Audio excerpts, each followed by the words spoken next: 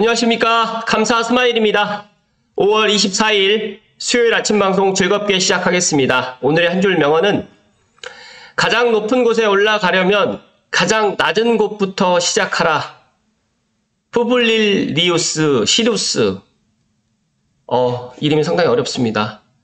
네, 가장 높은 곳에 올라가려면 가장 낮은 곳에서부터 시작하게 되면 한 단계, 한 계단, 한 계단 올라가다 보면 가장 높은 곳에 올라갈 수 있다는 이야기를 오늘 아침에 이야기를 드리고요. 감사 스마일 오늘 조금, 음, 감사의 이야기를 좀 드리겠습니다. 어, 감사하게도 감사 스마일 TV가 구독자가 9,000명이, 9,000명이, 9,000명이 넘었습니다. 어, 오늘 아침 기준으로 9,009명이던데, 어, 참 감사합니다. 앞에서 제가 이야기 드렸던 것처럼 어, 구독자 제가 이제 어, 뭐 1000명대부터 시작을 한 것 같은데 이렇게 아침 방송을 하면서 많은 사람들께 사랑을 받고 있어서 어, 방송을 빌어서 다시 한번 감사의 말씀을 드리고요. 어, 항상 도움이 될 수 있는 방송 그리고 꾸준한 방송이 될 수 있도록 오늘도 노력하겠습니다. 다시 한번 진심으로 감사의 말씀을 드리고요. 어, 구독자 9,000명 이벤트는 6월 초에 원앤 원북스에서 어, 도서가 나오게 되면 그때 준비할 수 있도록 하겠습니다. 오늘 방송 드릴 주제는 제가 대곡 소사선이 개통을 하게 되면 가장 어, 좋을 지역이 뭐 여러 곳이 많이 있고 고양시, 부천시, 뭐 시흥시, 안산시가 다 있겠지만 제가 생각했을 때 고양시에서는 이 능곡 뉴타운이 상당히 앞으로 좋은 평가를 받지 않을까 그렇게 생각을 합니다. 그래서 오늘 어, 능곡 뉴타운에 대해서 어, 제가 한번 이야기 드려볼 수 있도록 하겠습니다. 어, 기아 평균의 삶을 살아갈 남자 어, 기아남님께서 블로그에 능곡 뉴타운 총정리 이 작년 9월 5일 날 어, 썼던 어, 블로그 글인데 어, 생각했던 것보다 내용도 상당히 알차 있고 그리고 작년 10월 어, 이후부터 부동산 특히 뉴타운이라든지 재개발, 재건축 관련해가지고 많이들 이렇게 또 관심이 떠고 떨어지다 보니까 어, 많은 분들이 이제 최근에는 뉴타운에 대해서 이야기를 안 하는데 어, 대곡 수사선이 이제 6월 말 오늘 기준으로 해서 이제 한 달하고도 한 일주일 정도밖에 남지 않았거든요. 그래서 대곡 수사선이 개통이 되게 되면 능곡 뉴타운에 대해서 많은 사람들이 또 관심을 가질 것 같아서 감사 스마일이 오늘 한번 이야기 드려볼 수 있도록 하겠습니다. 시청하시기 전에 다들 아시죠? 구독과 좋아요 부탁드립니다. 일단은 능곡뉴타운을 모르시는 분들이 계실 것 같아서 간단하게 말씀을 드리면 능곡 1구역은 분양이 끝났습니다. 분양이 끝났고 입주까지 끝났고요. 그 다음에 롯데캐슬 엘클라시 같은 경우에는 이거는 어, 능곡 뉴타운 내에는 있지만 재건축 단지입니다. 빌라를 갖다가 재건축을 해가지고 어, 롯데캐슬 엘클라시도 지금 입주를 했고 오늘 제가 말씀드리는 2구역, 능곡 5구역, 6구역 을좀 중점적으로 이야기 드릴 텐데 능곡 3구역은 정비구역이 해제가 됐습니다. 그래서 이 지도 표시로 간단하게 말씀드리면 능곡 6구역은 조합 설립 인가가 지금 나 있고요. 능곡 2구역과 능곡 5, 구역은 사업 시행 인가가 지금 되어 있는 상태입니다. 어, 지금 들리는 이야기로는 어, 능곡 5구역이 조금 빠르다. 어, 관리처분 인가가 뭐 다음 달에 난다. 뭐 8월 달까지는 뭐 어떤 소식이 있을 것이다라고 지금 이야기를 하는데 이것도 카더라 통신이기 때문에 확실하게 결정이 되면 감사 스마일이 이야기 드릴 수 있도록 하겠습니다. 그리고 재건축 및 재개발 단계는 다들 알고 계시겠지만 뭐 정비구역 지정부터 조합 설립 인가, 사업 시행 인가, 그리고 가장 중요한 이 관리 처분 인가가 이제 정말 중요하죠. 이제 관처가 나게 되면 이조와 철거가 들어가고 일반 분양이 들어가는데 어, 대략적으로 지금 만약에 능곡 2구역과 5구역이 올해 관처가 만약에 나오게 된다고 하면 빠르면 일반 분양이 2025년에서 2026년 앞으로 한 2년 정도 보면 될 것 같다는 말씀을 좀 드리고요. 어, 조심스럽게 저는 일반 분양가가 어, 다들 뭐 그렇게 예상을 하고 계시겠지만 저는 9억 이하로 분양하기는 쉽지 않을 것 같다. 그래서 한 9억에서 한 10억 정도로 일반 분양가 3평대가 그렇게 분양을 하지 않을까 저는 그렇게 전망을 합니다.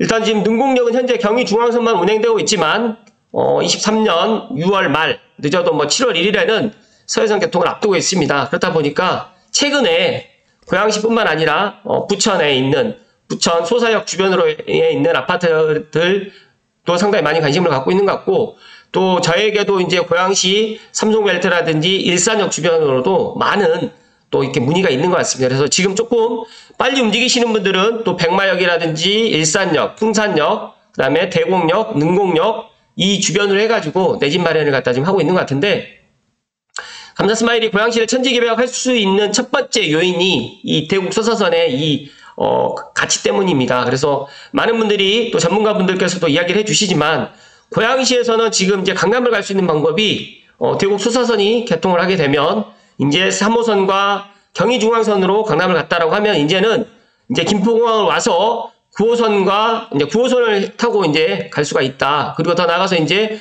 부천 종합운동장까지 또 이제 GTX D까지 연결된다라고 하면 또 그런 것들이 하나 또 늘어난다는 말씀 드립니다.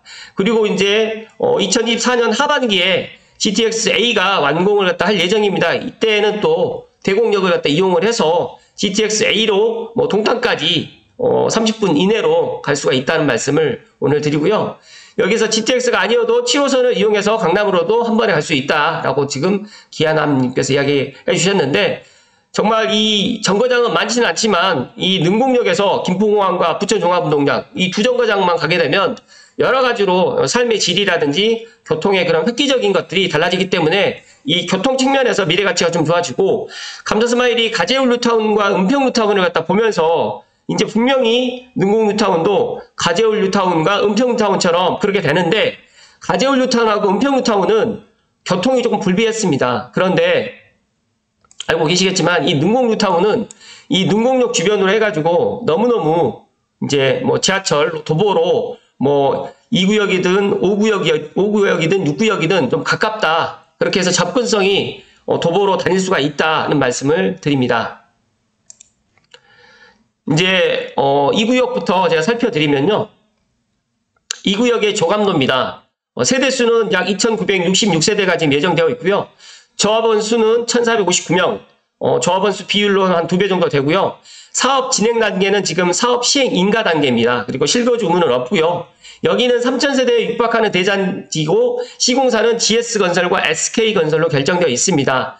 30평대 비율이 높은 편이라서 이제 대여평도 계약되어 있긴 하지만 어 그래도 30평대를 갖다가 희망하시는 분들은 어 이 구역으로 해서 미리 어 대국서서선 개통되기 전에 어 조합원 분양권을 갖다가 매수하는 것도 하나의 방법이 될 수 있고 아니다 나는 진행되고 난 다음에 일반 분양을 갖다 받겠다라고 생각하시는 분들은 한 2025년까지 그에 맞춰가지고 어 준비하시면 될 것 같다는 말씀 드립니다.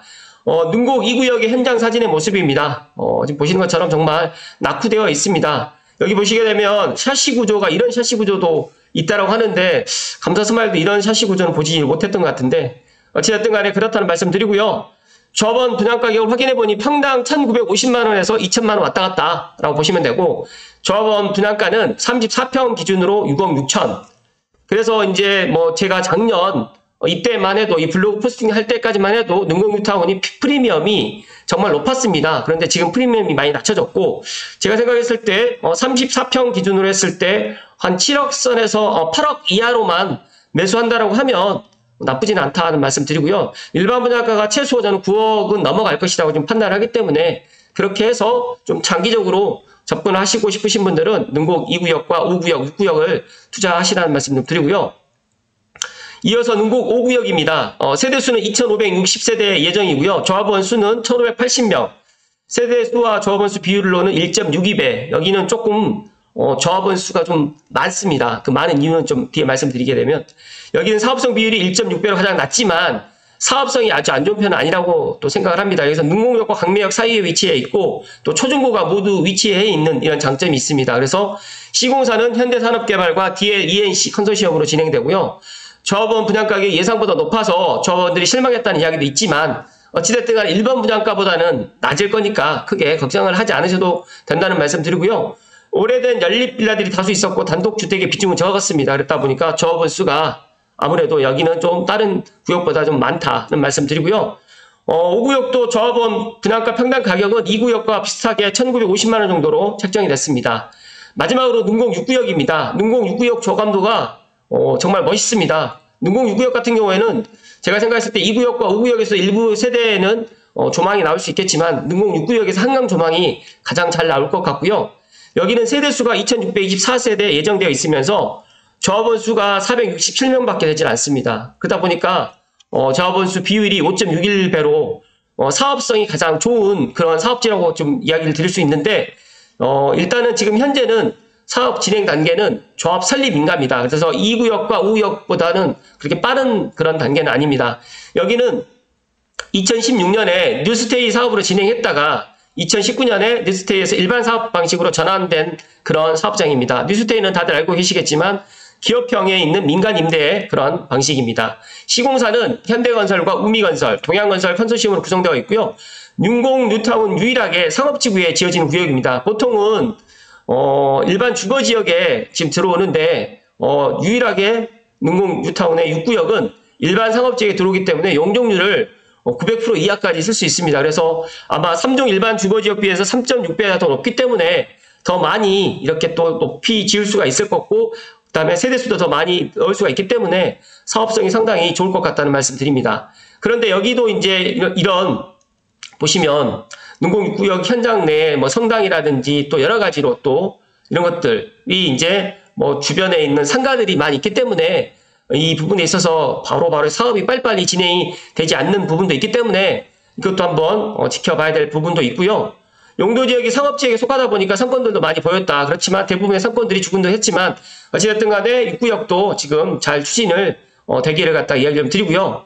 사업 속도가 같은 2구역과 5구역 이, 이 프리미엄 2억 초중반 그러니까 이때가 어, 작년 어, 8월과 9월 사이였습니다. 근데 지금은 프리미엄이 많이 낮춰졌습니다. 그래서 제가 어, 이 프리미엄에 대해서는 이야기를 드리지 않고 개별적으로 이야기를 주시는 분들께는 제가 또 이야기를 드릴 수 있도록 하겠습니다. 그래서 지금 여기 보시게 되면 6구역 같은 경우는 프리미엄이 5억 초반까지 지금 되어 있다. 그래서 매매가가 여기는 2구역과 5구역 같은 경우에는 4억 중반부터 지금 있고 여기는 7억 초반부터 있었는데 지금은 부동산 시장이 그렇게 좋지 않은 상황이다 보니까 많이 지금 내려갔다라는 말씀을 좀 드리고요. 기존에는 프리미엄이 4억 중후반에서 5억까지도 갔었는데 저분 분양 가격도 비싸지고 부동산 심리도 얼어붙어서 많이 조정된 모습이다라고 이야기를 하는데 어, 지금의 제가 지금 이 포스팅에 나와 있는 어, 프리미엄보다는 조금 더 낮아졌다는 말씀을 오늘 감사 스마일이 이야기를 드립니다. 잠시만요.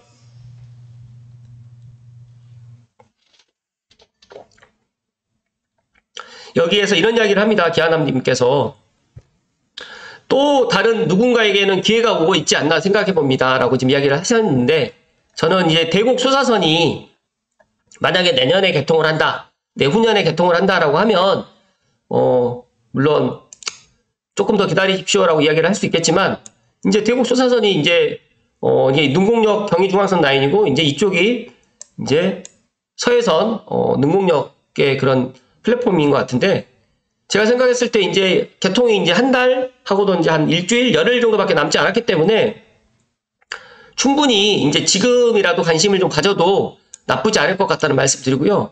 어, 능공역과 뭐 2구역, 5구역, 6구역 모두가 정말 도보로 다닐 수 있는 어, 제가 생각했을 때는 충분히 도보로 어, 10분 이내, 뭐 남자 걸음으로 좀 빠른 분들은 뭐 한 7, 8분 이내로 걸어 다닐 수 있는 그런 역세권이다 보니까 많은 분들이 또 관심을 갖지 않을까 그렇게 생각을 합니다.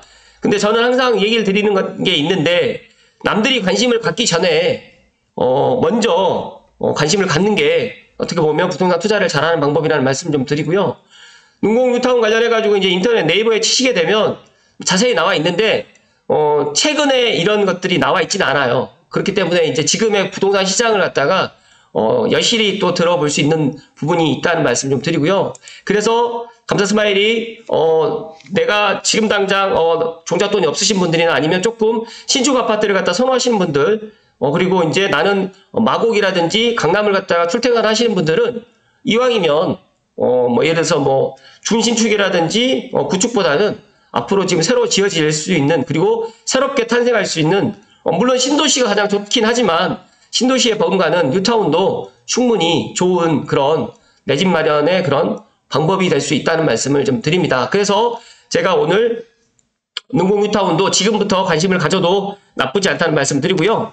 지금 2구역과 5구역, 뭐 6구역에 대해서 간단하게 좀 설명을 드리면 어, 2구역은 세대수가 가장 많고요. 그 다음에 5구역은 어, 가장 빨리 진행될 것 같습니다. 그리고 6구역은 조합원 수가 어, 상대적으로 적어서 사업성이 가장 좋을 것 같고 특히 육구역 같은 경우는 이제 사업성 그러니까 한강 조망도 가능할 것 같다는 말씀을 좀 드립니다. 그래서 어, 내 그런 뭐 자금이라든지 내 여건에 맞춰 가지고 2구역과 5구역 그다음에 6구역을 갖다 직접 현장 가셔가지고 임장도 한번 해보시고 결정을 해보시라는 말씀 드리고 특히 이제 5구역 같은 경우에는 어, 능곡 5구역 같은 경우에는 지금 1번 출구랑도 상당히 가깝고 또 사업 시행 인가에서 지금 관리처분 인가로 이제 어, 또 빠르게 또 어, 진행이 될 수 있을 것 같다는 그런 이야기가 있어요. 그렇기 때문에 대곡 소사선 개통되고 난 다음에 물론 관심을 가져도 나쁘진 않겠지만 이왕이면 내가 조금이라도 어, 내가 어, 좋은 그런 어, 아파트를 갖다 좀 싸게 매수를 갖다 하실 분들은 지금 5월 말이나 6월 달에 어, 직접 임장도 한번 해보시고 관심을 가져보시라는 말씀 드립니다.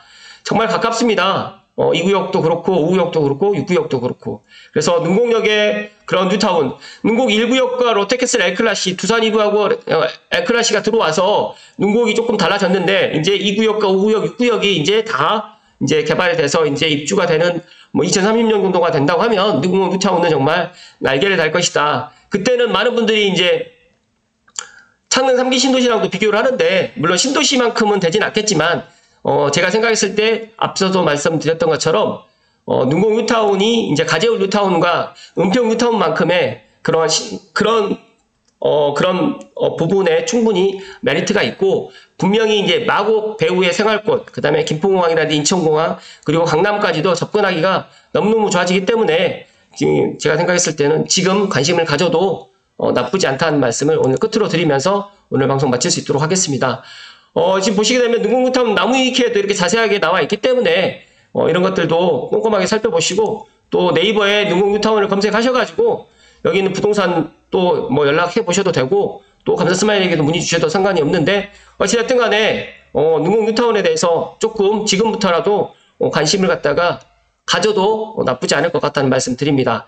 예전에 KB부동산에서 대공역 지나는 노선 두 개 받고 세 개도 교통열충기될 눈공 뉴타운이라고 이야기 드렸는데 이때는 2021년도에는 어, 대곡 수사선이 일단 가시화되지 않았기 때문에 어쨌든 간에 그때보다는 지금 어느 정도 가시화됐고 그리고 이제 개통을 해서 실제적으로 이제 다니게 된다라고 하면 충분히 어, 앞으로 좋은 그런 어, 주거지로 될 것이라는 말씀을 마지막으로 강조해서 이야기를 드립니다.